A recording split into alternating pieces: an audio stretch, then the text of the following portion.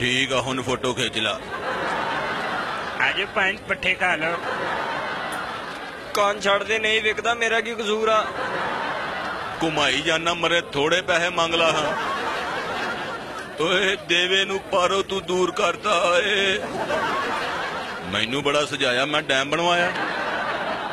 ਮੇਰੇ ਦੋਸਤੋ ਐਸ ਈਦ ਤੇ ਵੜੇ ਰਹਿਣ ਦਿਓ ਬੱਕਰੇ ਕਰ ਲਓ। ਓਏ ਆਰਾਮ ਨਾਲ ਖਿੱਚੋ ਡੈਂਟ ਪੈ ਜਾਂਦੇ ਹੀ ਸ਼ਾਹਰੁਖ ਲੱਗ ਰਿਹਾ ਨਾ। ਭਾਜੀ ਮੇਰਾ ਭਰਾ ਲਾ ਲਓ ਸਸਤਾ ਜੇ। ਆ ਮੇਰਾ ਮਾਲਕ ਵੇਖ ਲੋ ਮੂੰਹ ਇੰਜੇ ਜਿਵੇਂ ਨਾਨ ਵਾਲਾ ਡੱਬਾ ਹੁੰਦਾ। ਆ ਭਰਾਵਾ ਤੂੰ ਲੈਣਾ ਤੇ ਹੈ ਨਹੀਂਗਾ ਆ ਮੈਨੂੰ ਥੋੜੀ ਜੀ ਖਾਰਿਸ਼ ਕਰ ਦੇ ਉੱਤੇ। ਆ ਇੱਥੇ ਆ। ਆ ਮੈਂ ਚੋ ਗੋਸ਼ਤ ਗੋਸ਼ਤ ਨਹੀਂ ਨਿਕਲਣਾ ਮੈਂ ਤੁਹਾਨੂੰ ਪਹਿਲੇ ਦੱਸਦਾ। ਹਾਂਜੀ।